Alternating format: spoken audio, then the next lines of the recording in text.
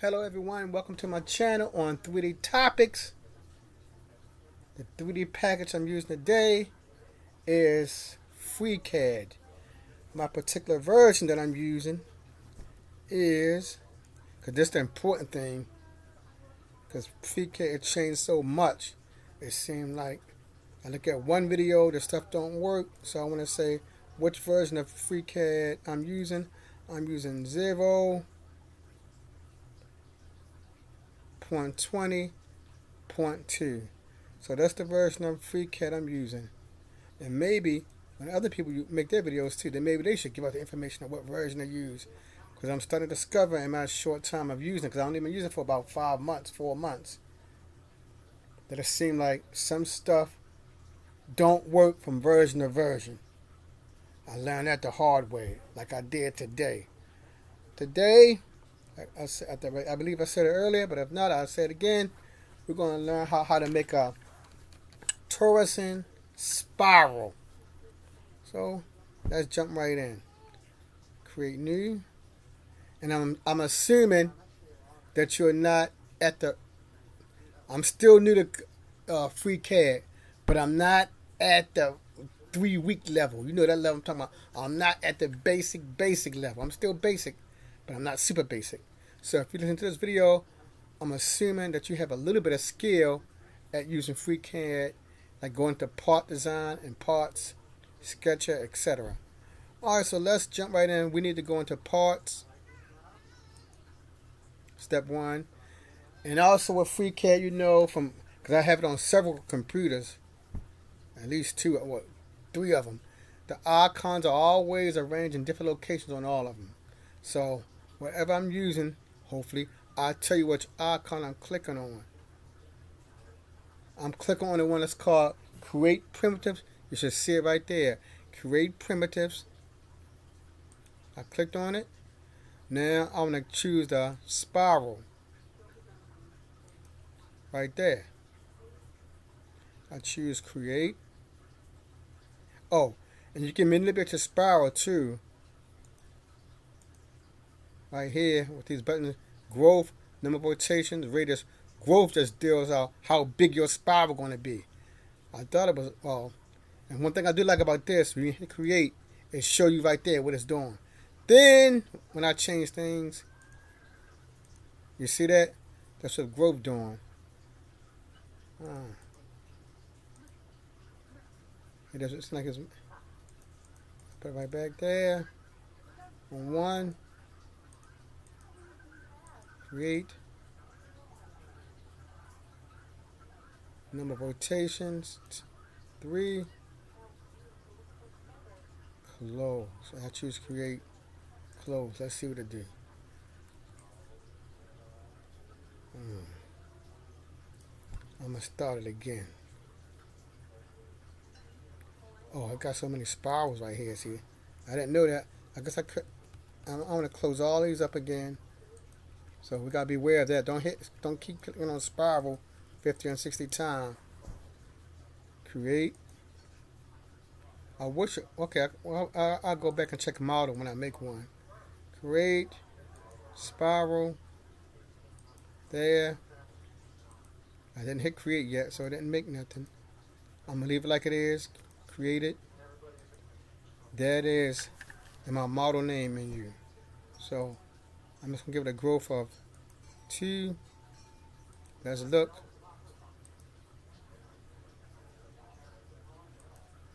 Now earlier it was updating. Because if I hit create again, it'll probably make another one. Watch this. I'm hit create. See it made two. That's not good.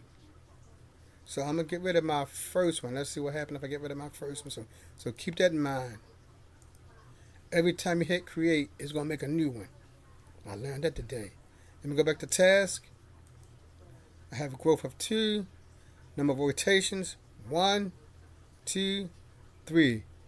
You can go up. But if I hit create, it's going to make another one. So I'm just going to leave it alone. Earlier when I was doing it, it was making everything live. It was giving me a view. Maybe since I got my uh, speaker hooked up to it, it may be acting up, but you got the idea. And growth going to just choose how big it is. I'm going to make it 4. Create. I'm going to hide my first one. Let's see how that look. Okay. So growth just made it smaller. Here's my second one. Yeah, it's bigger. First one. Here. Hide it. Second one. The growth. That's what it did. I guess the bigger the number, the smaller it get. I'm to go back and check it again. I'm to give it a growth. I'm going to make it go to 10. Let's see what happened. Create. I'm a hard one. Yeah, so with growth, it has changed how, how, big you, you want it. So that's a good thing right there. So all of them won't be the same size. So growth, like normal thing, like in life. When we born, we a baby, we tiny. Yeah, so that makes the older it gets, the, the bigger your number, I guess the smaller it gets. So that's your growth, the size of it. I'm gonna go back to my original. I hit delete. Delete. Go my original one. There it is right there. So, and I only, so that's new for me. So, I've done that. I'm content. So I choose close. So that was straightforward right there. So next, let me go to, now we go back to our beloved part design. Part design. I want to let me look over here.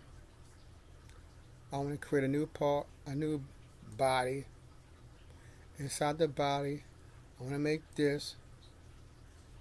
And here in my left hand, down here in the right corner, the lower right, it's giving me an idea of which way my axes are.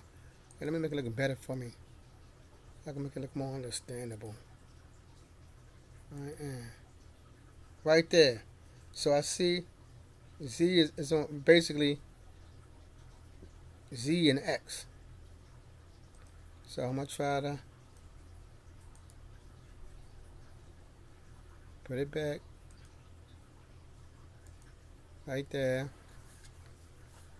if I go to my side, since it don't got no dimension to it, it's, you know, it's, it's flat. It's there, but it's flat. As you can see, it's there, but it don't have no thickness. So I guess I'll stay with top view for now.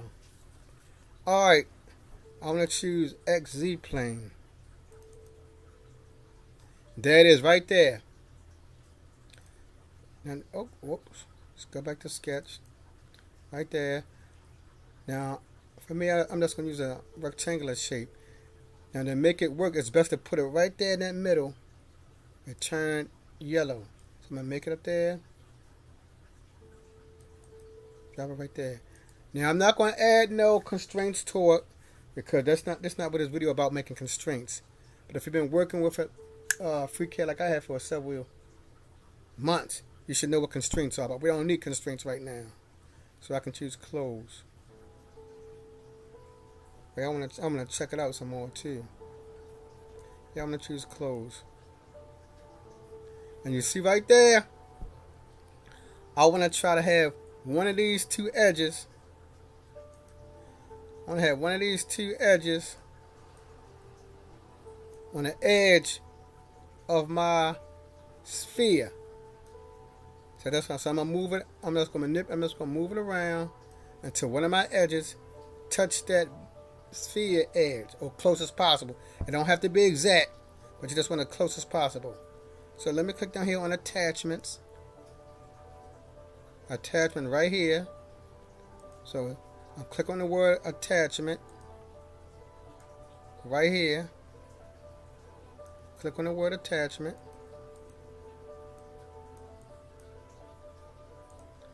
Then click on that. Now I have my placement. I can move that little uh that sketch around. That green sketch, I can move it. Now, since I've been doing it earlier, I know what to move. X. You see that? Oh, that's good right there. It's perfect. I don't have to do no more. It's good enough. Now, I don't have to be exactly there. It's good enough to the eyeball. And I zoomed in immensely. That's an immense level of zooming. Like it's dead on. So for that I can hit apply. I can hit close, zoom out. Now I just shift it and see how it looks. So it looks good. Oh, see now you see right here? My sketch is too big.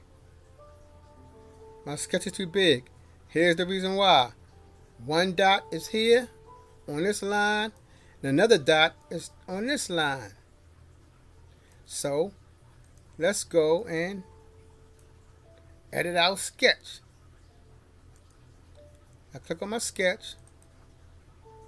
Let me see if I can just change this. Yes, I can do that. I'll make it sort of thin like that. Like I said, I don't need to use no constraints. I'm just showing you how to use this stuff. And there it is. Alright, so. Then also, if you wanted to, I don't have to have my green sketch. I can move it right in the center of that line, but I'll leave it at, at the top of it right now. This was the part that wasn't in the video that I learned about earlier that I had to learn on my own. Maybe he didn't have version 0.20.2. I discovered you had to do this because if not, you're going to have a world of trouble. You, it won't work. I have to click on my uh, spiral here in the model task. Click on spiral or left click on it. Right click. I just want to see if it's. I can't move. I don't see no action to move it. So I'm physically going to take it and move it to the body. Now it's there. This the part that makes us win. Where it said base feature. Now I can do more with it. So now I want to go up here to where it says uh I want to see which of these tools I need. I hope I can say it. Oh, additive pipe. You see the word right there. That's the one I need. Additive pipe. It says sweep a selected sketch. See, sweep. So I'm going to take my sketch and sweep it around that whole sketch. Oops. I don't want to do it yet, but anyway. So I have to do it now. So I want to choose my sweep object. Path to sweep along. I click on object. I come over here, click on my sketch. And there it is. That's step one. It did something. Step one, it did something. It did something. Then, step two, you click on OK. And zap. There we go, people. When I watched that first video, it probably, probably was an old version of FreeCAD, but it looked like it was my, a new version. It took, it didn't work until I had to add my own thought into it. So what you have to do, take the main thing, take spiral and move it into the body or whatever you decide to call the body. You just move it there. You know, we just call it body right now because it's a demonstration, but you can name the body anything you want. And to prove that it's working, I can go down here to edit the pipe, go back to my sketch, and I'm going to make it even more thinner. I'm going to make it super thin, close, and we see it updated. Thank you for stopping by, good people to see how to make a torsion spiral, a basic introduction. Alright, until the next time, people, keep learning about FreeCAD like I am. Peace.